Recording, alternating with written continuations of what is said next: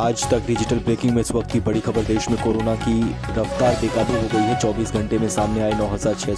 नए मामले भारत में लगातार बढ़ रहा है मौतों का आंकड़ा 24 घंटे में कोरोना की वजह से उनतीस मरीजों की जान चली गई है